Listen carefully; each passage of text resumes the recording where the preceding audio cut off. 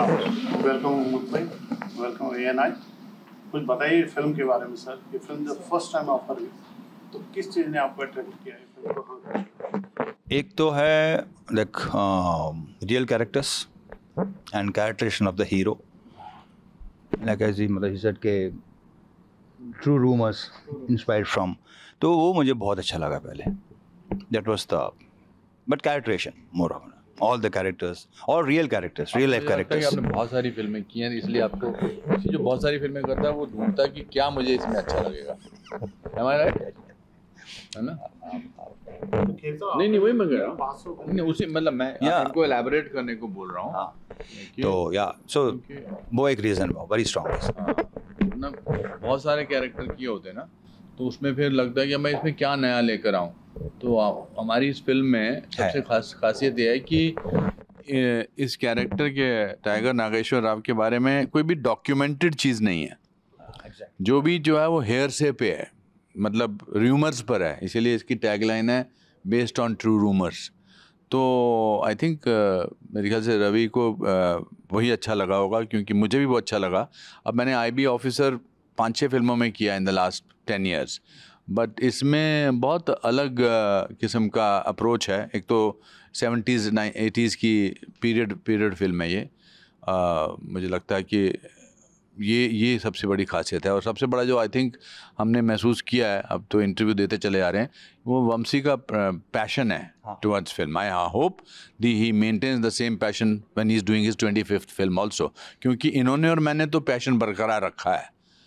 तैतीस साल से ये काम कर रहे हैं और चालीस साल से मैं काम कर रहा हूँ। आपसे यही पूछना है all film true event based on true event what is true humour ओ ये सर अभी अनुपम से अनुपम सर क्या बोला? So based on true rumour I mean based on true incident everybody puts because when they do biopic it's on a personal life पे। So they have a documented stuff google पे है तो और कुछ Uh, uh, books jaisa or uh, you know they, they, they, they also can get the information from family members also, family members also. and books and books also written on them. So you can read that and get it. But this is, he's a thief basically. So who will write on thief? Nobody will write and keep it against the thief because he's robbing so there was no any documented stuff we know that he's a big thief we know that he has done a lot of uh, uh, you know biggest uh, robberies in his life he's done robberies in delhi bombay uh, bangalore chennai ap so, but uh, he's just a robber. But nobody has it documented. When we want to do a film, we need something, right? Uh, so I was only hearing all the stories. So I don't have a proof. So how do I put it then? How do I tell people? So I've just changed this as no. I cannot say inspired from rumors because if I put inspired from rumors, it it again uh, it's a lie. So if I added true rumors, so it makes that I I'm giving an opening ending for you. So that's I put it from. और इसकी एक खासियत और है अभी इन्होंने कहा जैसे सेलिब्रिटी वो ये मतलब he is not a regular thief उसके जो काम और उसके जो कारनामे हैं ना वो बहुत खास हैं बहुत स्पेशल है जो कुछ भी हमने सुना है वो आप इस फ़िल्म में देखेंगे आप और मतलब कहानी पहले आपने पूछा ना मुझसे तो वो सुन के बहुत मज़ा आया मेरे को। या उसके जो क्या हाँ आपको मतलब देख के लगेगा कि अच्छा ये इसने इसने ऐसा किया। क्योंकि अब रूमर्स तो बोला लेकिन ऑलमोस्ट सच ही है सब। सच में मतलब मतलब उस पर्टिकुलर इंसान के इर्द गिर्द जितने भी लोग थे वो आज भी कई लोग ज़िंदा हैं। तो उन्होंने भी काफ़ी काफ़ी या। तो जैसे आपने बताया शायद ये चोर इंदिरा गांधी का रुमाल चुराने गया था ऐसा है? ऐसा है। बहुत ज़रूरी बहुत हाँ हाँ या है ऐसा है। That's the most interesting thing was like जब इसने सुनाया ना मुझे मुझे इतनी एक्साइटमेंट हुई मैंने कहा चल करते हैं. घर चोरी सिर्फ़ ये करने गया था। अरे वो एक अब वो वो वो मतलब रोक के गया था मतलब बोल के गया था और वहाँ ये उसने ऐसा क्यों किया या फ़िल्म देख के? जब देखेंगे ना तब आपको पता चलेगा और आपको मज़ा भी आएगा। इस बात की गारंटी देता हूँ मैं। और मतलब एक बात उसकी और एक और बहुत खासियत ये है कि हर चोरी या कुछ भी करता है बोल के इन्फॉर्मेशन दे के।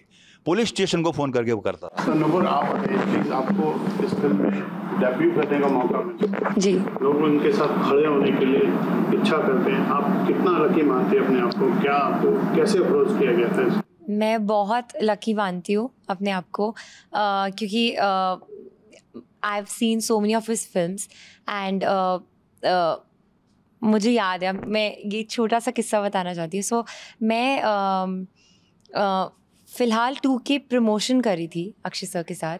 And I want to tell him that सिर्फ़ like he he is not just love by the audience is here he is love by like every one from the industry over here I remember like just for guidance you know ऐसे मैंने बस mention किया। ही आसमी कि uh, अब तू क्या कर रही है इसके बाद या जो भी।